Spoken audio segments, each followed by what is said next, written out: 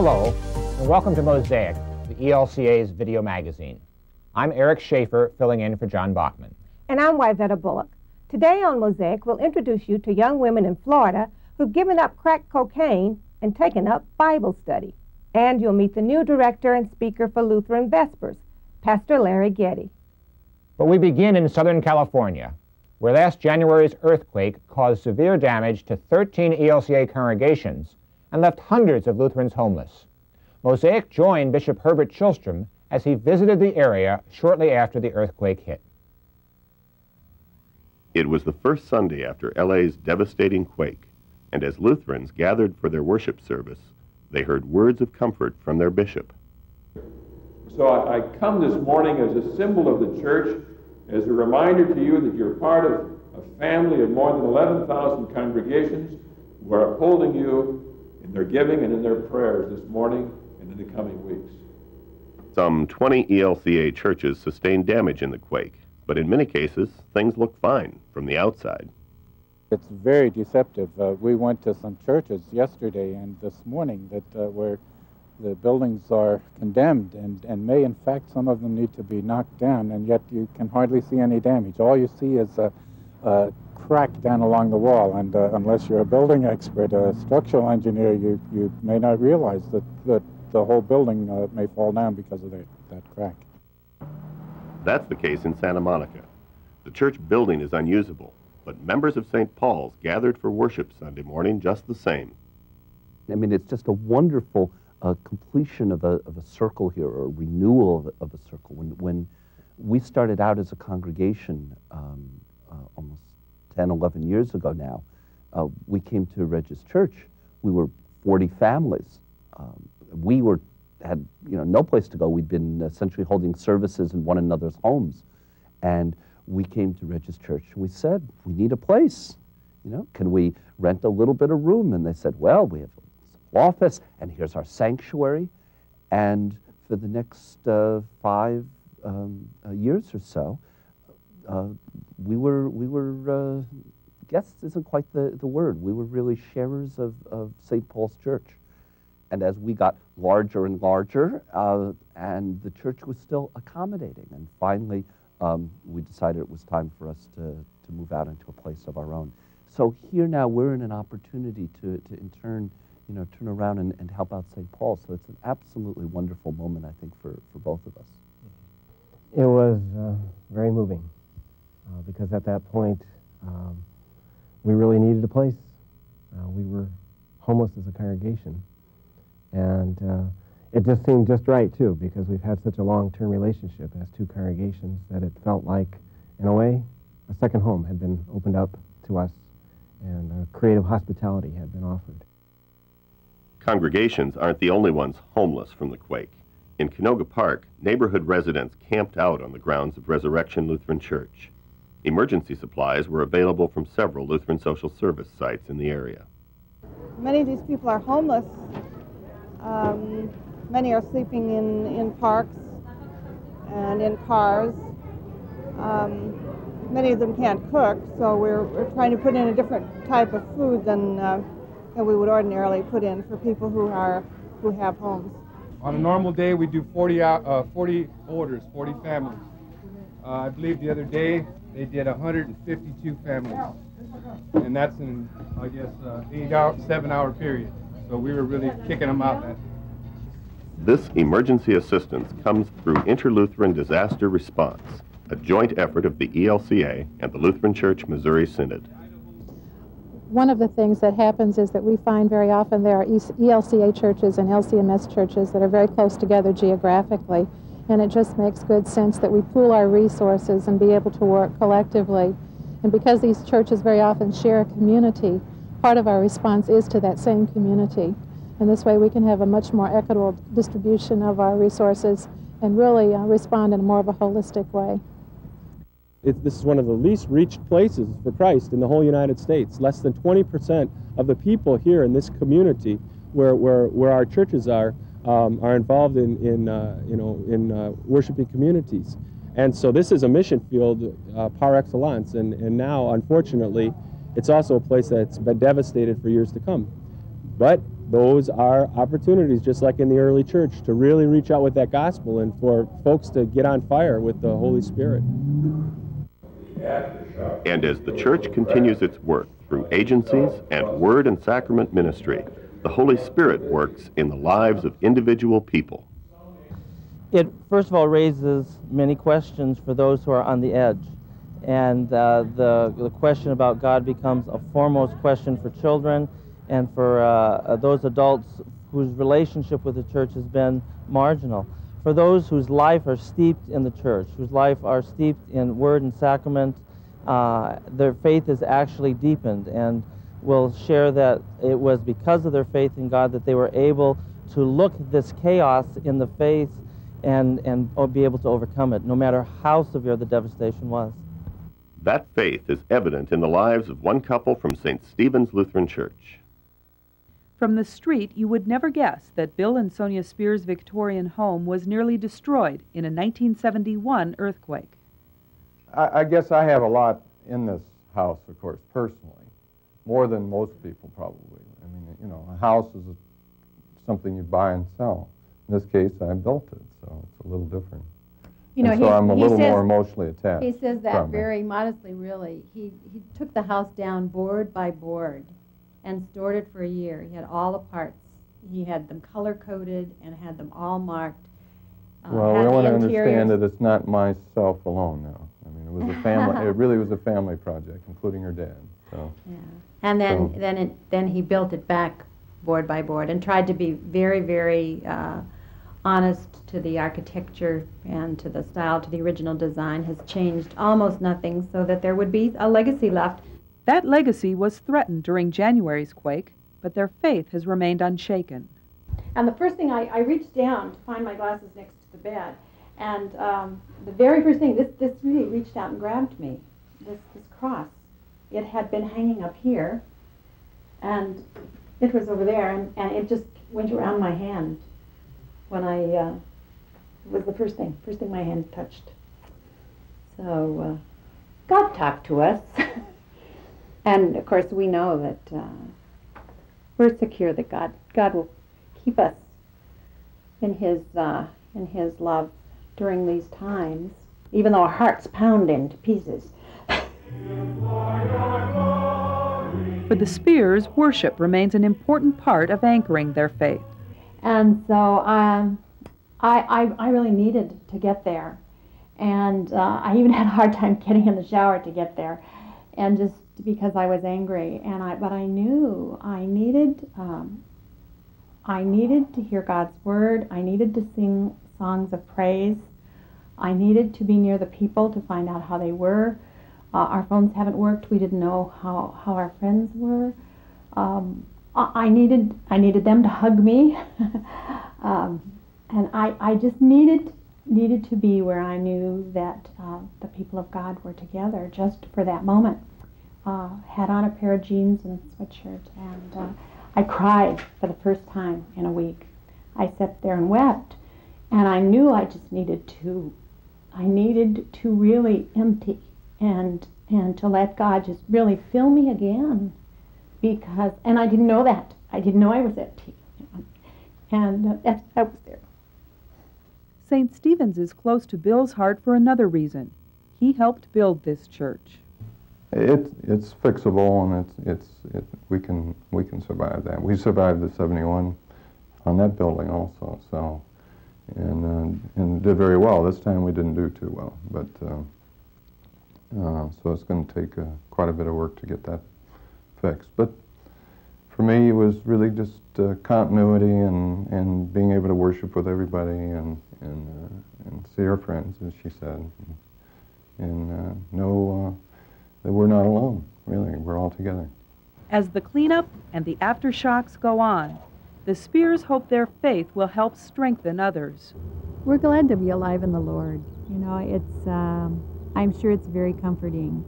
Took some people through the house. I didn't know them uh, a couple of days ago, you know, and I knew they weren't in the Lord, and, and they, they're frightened, you know, and, and just seeing someone else calm in their home and to see that they had the same kind of cracks and all, you know, and, and said, well, it didn't look so bad, you know, and, uh, and I think that's it. I, I think we have some certain amount of calm to share with people, and and uh, that's certainly what what we would like we'd like to do just even in our neighborhood. That's that's what we can do right now in our neighborhood.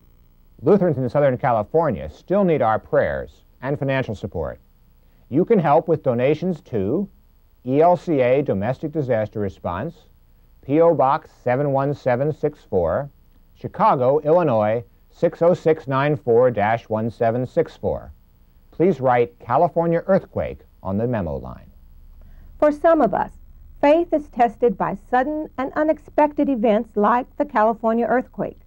But for others, the struggle creeps up slowly, privately, until it consumes one's very life.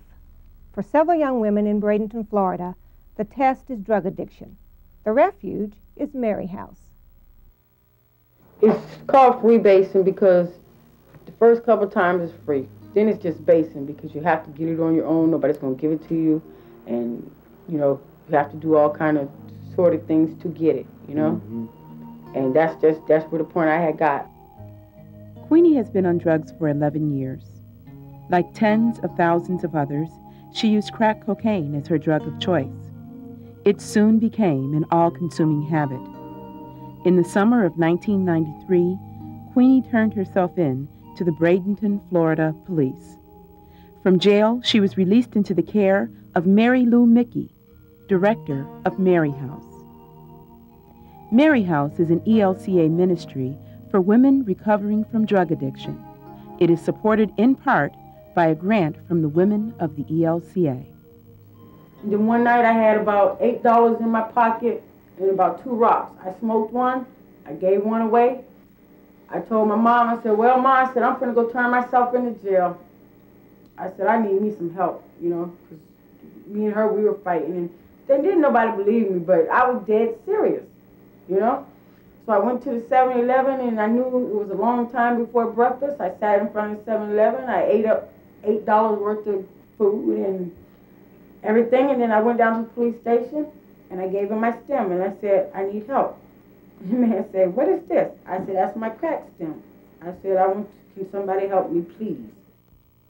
Often as an alternative, or even as an extension of time spent in prison, women like Queenie have been turning to this ministry, which began as an outgrowth of a Bible study at Living Lord Lutheran Church in Bradenton. An addicted person, addiction cocaine is the, the, the drug by choice, they will, um, it's hard to stay off of it. it. it's, a, it's a killer. They, for a girl to get through three months, we praise her, we have a party for her. I may have chocolate cake for her that she's, she's made it through three months. Um, this is a, a very important to her that they can stay clean, that they live day for day. Mistakenly thought of as a big city problem, crack cocaine has spread across America to smaller towns like Bradenton. One of this city's main thoroughfares, this part of 14th Street once attracted tourists and retirees. Today, prostitutes walk the streets in abundance, a visible symbol of underlying crime, violence, and despair. Reverend Paul Christ is the pastor of Living Lord Lutheran, a mission congregation that currently makes its home in a storefront. In the near future, Living Lord will move to a new building nearby. Ministry isn't something is waiting to happen here until we get some new building. Ministry is something we do from the outset. Uh, we're not focused inward, we're trying to be focused outward. Otherwise, uh, we're not of much value to the people we say um, we have a message for, the message of the gospel, if it's simply a place where people only can find safe haven, but it also has to be a place that reaches out. The women who come to Mary House often come with few or no job skills. To help them develop skills, Mary House runs a greenhouse that provides training in nursery skills and helps defray operating costs. There's a lot of horticulture in Florida. It's a real good state for uh, any kind of background in horticulture. So hopefully I can learn something about it and use it in the uh, in the industry. They're responsible every week for transplanting up the plants that I bring, um, watering them on a daily basis, um, basic care, growing them onto a stage where they can be um, sold or uh, distributed to area churches for donations. But life at the Mary House isn't all a bed of roses. Agina Gianello is the resident manager at Mary House and works with the women on a full-time basis. They're going through withdrawals, their, their attitudes, they have, you know, one day they'll be really friendly and the next day or the next minute they, they might be throwing something across the room or angry. Um, so it's tough working with them, uh, you know, every day in the house on a one-to-one basis because you never know how, how they're going to act. In addition to job skills and a safe environment, residents at the Mary House receive professional counseling on a regular basis. Reverend Carl F. Troon, a recovering alcoholic himself, works with the women in groups and individually. I've shared their experience and I've, I've, I, I know what they're going through. And this is literal hell when you are controlled by a substance outside of yourself over which willpower does not cut anything. You know? So it's just a, uh, I think it's a, it's a, you're, you're one up simply by having been there so that you know what people are going through and you can help them. It's in my heart, you know, I'm true with it. You know, there's no there's no getting around helping yourself. You know what I'm saying? And this this program, you know, just like today when I went to talk to my counselor, I was telling her the Mary House along with OTC is the world, my world right about now. That's that's what I revolve around right now. Because that's what I need. And she asked me, what would I do if I was to get out today or tomorrow? I don't know. I'm not ready for that yet. You know, I can't talk about tomorrow. I said, today, today I'm just going to work my program. My feeling is if we can just give these girls a chance, just give them the loving that they, they need and also the discipline that they need, you will find that they will eventually come around they will do well. There'll be times when you'll have fights. There'll be times when I want to walk in, I don't want to walk in this house. But then there's times when I can sit and hug each one of them. There are girls here that have done beautifully, and there's girls here that have walked out.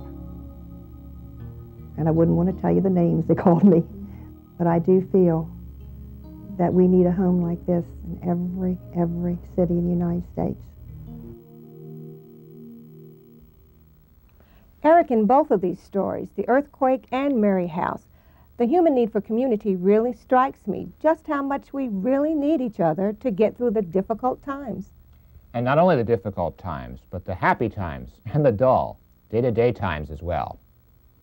The ELCA has one ministry that can be a personal help to you in the ups and downs of life.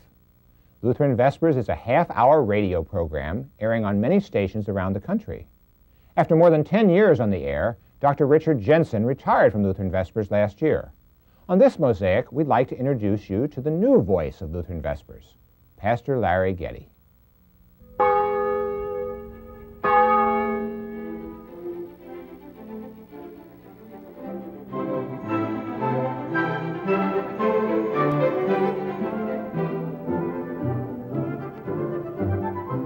Lutheran Vespers has been part of my experience since I was a very young person. I can hardly remember a time when I haven't been able to hear Lutheran Vespers. I must tell you that I haven't always listened to Lutheran Vespers, but I have usually lived in a place where I could hear it. Pastor Larry Getty, that's Larry, not Lawrence, is the voice of Lutheran Vespers, the radio ministry of the ELCA. Born in rural Minnesota, in what he calls a traditional Lutheran home, Larry Getty has stayed close to his roots. His father was a carpenter, his mother a homemaker, and later a secretary. But the real influence on Larry was his brother Palmer. I have one brother who, it turns out, is also a Lutheran pastor. He is 13 years older than I am. He started college when I started kindergarten. And uh, as a result, we were hardly ever at home together at the same time, but I always had an older brother in my uh, mind as an image, an idol, a mentor, someone that uh, I absolutely adored. And when he went to the seminary, it was only a matter of time until I began to face that same struggle myself. A lot of folks always assumed that I would go to the seminary just like my older brother went to the seminary. I managed to fight it for a long time, but uh, eventually knew that I would need to explore that call for my own life. And now, some 20 plus years later, here I am, uh, having followed in the same, uh, the same call that my brother did. We have three children. Our oldest daughter is a senior in college. She will be married next summer. Our son is a senior in high school. He will begin college next fall. And our youngest daughter is a freshman in high school. And yes, our children are certainly at the center of, of our life's activity. God has blessed us with children, uh, as all parents will say, of whom we are very proud. Larry Getty took over the leadership of Lutheran Vespers in the fall of 1993, following in the footsteps of some very well known speakers. The ministry was founded by Pastor Harry Gregerson in Sioux Falls, South Dakota, as a local radio ministry. From there, it grew rapidly to include other stations in South Dakota, Minnesota, and the entire upper Midwest. Pastor Conrad Thompson followed Harry Gregerson in the 1960s, and Dr. Richard Jensen was the ministry's speaker from 1980 until 1993. Today, Lutheran Vespers is heard on 135 stations across the United States and Guam. At least two of the previous speakers have also been longtime personal dear friends of mine. To be able to follow in the tracks that they have laid down is an enormous privilege for me personally. This call to do this ministry comes at a time in my life when I think that uh, God has led me to a, unique opportunity and a unique preparation. I can honestly say that I believe I have the best job in the whole ELCA. Communication, in the best sense of the word, is a two way street. Broadcasting the gospel is only one part of the Lutheran Vespers ministry. Irene Stanglin and Dixie Miller work on Lutheran Vespers with Pastor Getty at the ELCA's Lutheran Center in Chicago. They spend much of their time corresponding with listeners through the mail or by telephone. Lutheran Vespers is an important ministry because it reaches people at the point of their need. Uh, some people are just looking for nurturing. Other people are really in a crisis situation.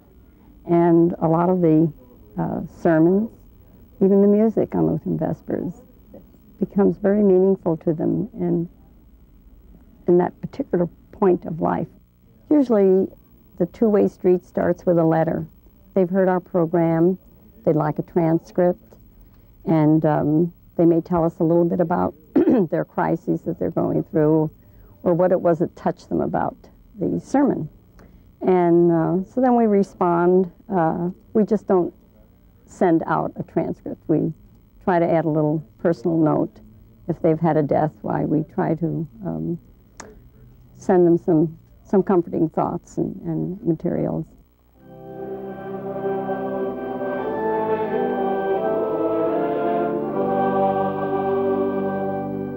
Travel is another important aspect of Pastor Getty's role as director of Lutheran Vespers.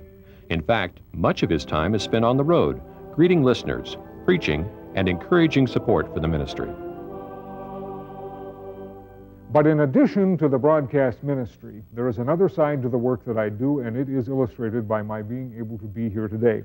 I am able to be in the congregations of our church and with members of the congregations of our church who support this ministry. That is one of the great joys of my work, and it is indeed a great joy to do that here today at Mount Olive Lutheran Church. I think our audience is diverse both in age and in geographic location.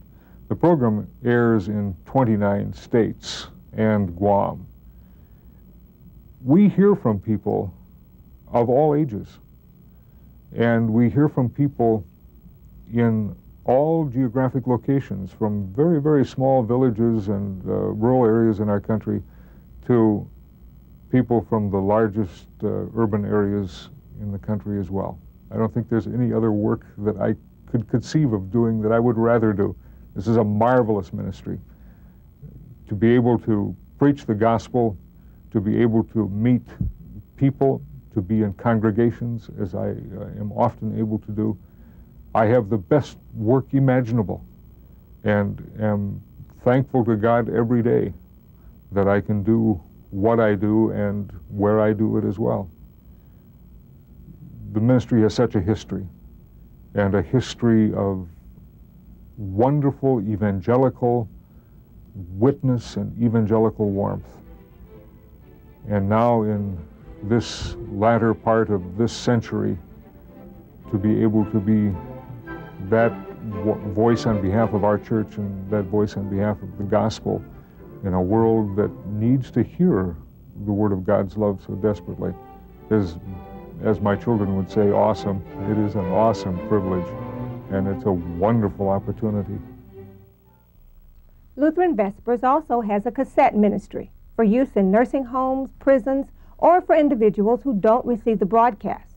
If you'd like to know when the program is on in your area or to receive more information about the cassette ministry, please write Lutheran Vespers, 8765 West Higgins Road, Chicago, Illinois, 60631, or call 1 800 638 3522, extension 2967.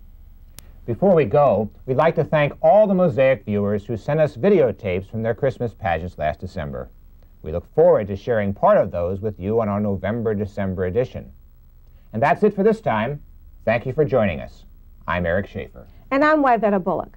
Be with us again next time, because this is Mosaic, and you're a part of it.